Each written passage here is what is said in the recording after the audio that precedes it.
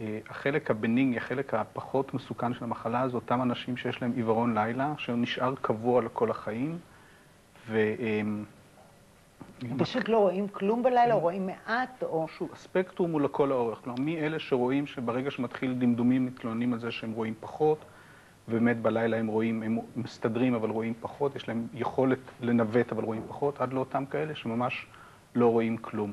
כמו במצלמת אה, וידאו שאתה הולך ועושה את החשיפה לאור פחות ופחות ופחות? בדיוק, הולך ונעשה דים, הולך ומוריד את כמות האור עד שפשוט לא רואים כלום. עכשיו, אותם אנשים שבהם זה רק סימפטום של עיוורון לילה, לומדים לחיות עם זה.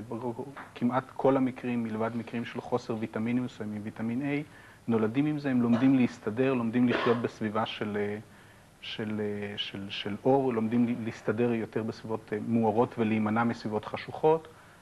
אמ, מתי זה נעשה חמור?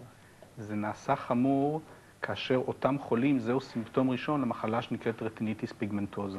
retinitis pigmentosa זו מחלה, מחלה גנטית בדרך כלל. קשורה לפיגמנטים איכשהו? פיגמנטים.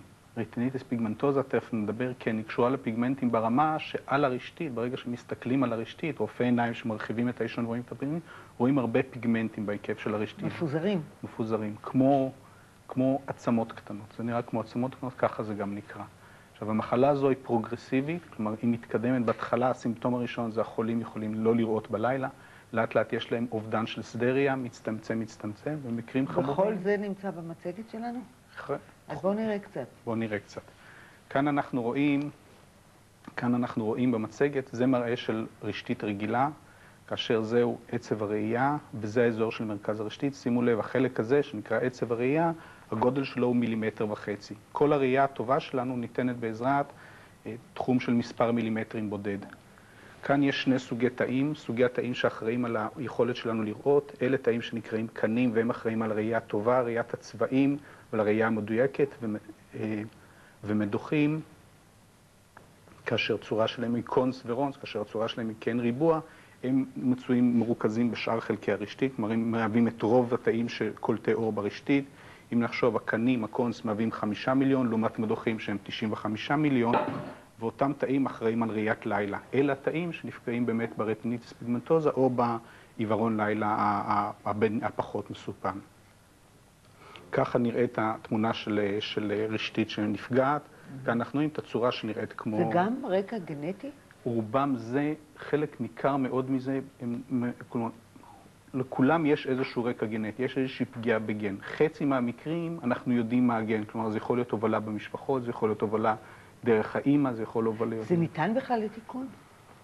זה ניתן להוריד את הכמות, בגלל זה חשוב לדבר על זה. כלומר, ברגע שיש הבחנה של רטניטיס פיגמנטוזה, נעשה מחקר גדול לפני מספר שנים בארצות הברית, ונתגלה כי אם נותנים להם כמות גבוהה של ויטמין A, זה כמובן עם הסתייגויות, אסור לנשים בהיריון לקחת, כי לא יודעים מה, זה יכול לעשות לעוברים.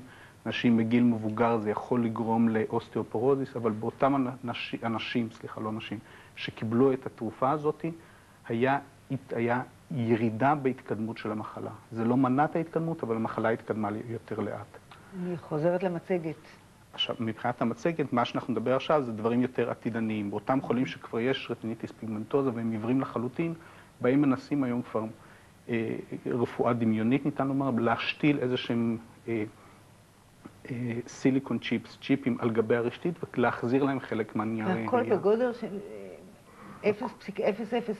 הכל בגודל מאוד מאוד קטן. כפי שנראה, הנה כאן, זה, יש שני סוגי צ'יפים, זה אחד ששמים מצלמה על משקפיים, ולאחר מכן מחדירים אלקטרודה לתוך הרשתית, ושמים ממש אלקטרודה על הרשתית, שמאפשרת לאותם חולים לקבל איזושהי תחושה של אור. הנה זו האלקטרודה נכנסת ממש לתוך הרשתית ושמים אותה על הרשתית.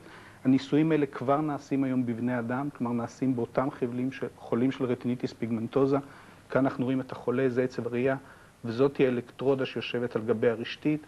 כרגע זה שלבים מאוד מוקדמים, אבל כבר שמו מספר חולים כדי לראות שזה בטוח ושלא גורם נזק לרשתית, ואכן אותם חולים מדווחים על תחושה של אור ברגע ששמים להם את השתל הזה בתוך העין. זה מתחיל של חוסר, אה, פגיעה בראיית לילה, וזה נמשך לעיוורון מוחלט? כן.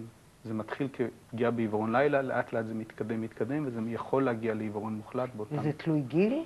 זה תלוי בצורה הספציפית של המחלה. כלומר, מחלות, יש מחלות שהן יותר מתקדמות לאט, יש מחלות שמתקדמות מהר, ולפי ההורים רואים את זה. יש הורים שבמשפחות יודעים, נגיד, אם ההורה הגיע לעיוורון בגיל 20, 30, קרוב לוודאי שגם הילדים שלו בגיל הזה. יש כאלה שמגיעים לעיוורון רק בגיל 50-60, עד אז הם שומרים על יכולת ראייה. ועד היום לא נמצא לזה תרופה? רק עכשיו... אה, רק עכשיו עובדים על כל ההנדסה המוגברת הזו על מנת לטפל בזה. את הגן אה, בודדו? יש המון גנים, בודדו חלק גדול מהם, וזה כיוון אחר של טיפול שאפשרי, כלומר שאפשר יהיה לפגוע במיוחד בגן הזה על ידי וירוסים שיחדירו את החלבון החסר, למנוע את ההתקדמות של המחלה. מתי בן אדם בעצם צריך ללכת לרופא לבדוק אם יש לו את זה? כשהוא מרגיש, ש... ברגע שהבן אדם מרגיש שהוא רואה לו, שמשהו לא בסדר מבחינת ראיית הלילה שלו. עכשיו בודקים את זה שוב, הבדיקה של זה היא לא בדיקה פשוטה, כלומר צריך לעשות בדיקה חשמלית של הרשתית, ואותם מקרים שבהם זה, חשודים בזה, שולחים אותם, יש מספר מרכזים בארץ שיש את המכונות המיוחדות שמפעילות בצורה חשמלית, נותנות פולס של אור על הרשתית, ומודדים מהמוח לראות אם אכן מגיע לשם תגובה ואכן יש את המחלה הזו. עכשיו, חלק, חשוב לציין שבילדים, חלק מהילדים, ילדים שמפחדים מהחושך, יש ילדים שמפחדים מחושך, זה יכול להיות גם סימן ראשון של רדיניטיס פיגמנטוזה. שווה לבדוק את זה. אני לא אומרת, זהבה מפחדת מהחושך. נכון. אבל לא צריך להבהיל. לא. כי אתה אומר שיש גם סוג מסוים של הפרעה של ראייה בלילה שלא צריך להיבהל נכון, נכון.